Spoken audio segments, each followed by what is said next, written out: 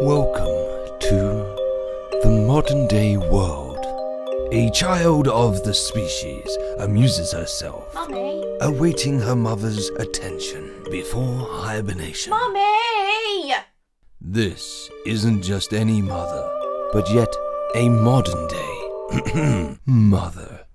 Disheartened by lack of affection, yet the mother continues searching for her soulmate for the night on her dating apps.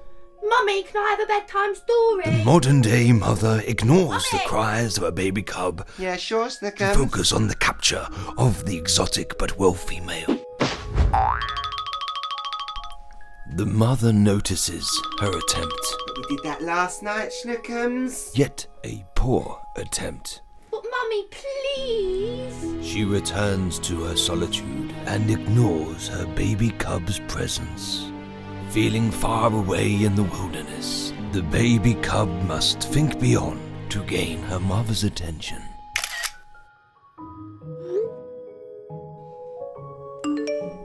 Mummy, Yeah. She is forced to break concentration and leave her prey unattended. The cuteness of the baby cub has gained some traction. How can I say no to my little Snickums? Snickers, Snickums. You're so cute. You take after me. Successful yet insulted. Okay, one story. Her mother preps for entertaining her cub before darkness falls. This little piggy went on Twitter, The modern day mother and this little piggy tells a, stayed on Insta. a modern day story. And this little piggy used the filter. And this little piggy, this little piggy, had Netflix and chill. we all know what that means.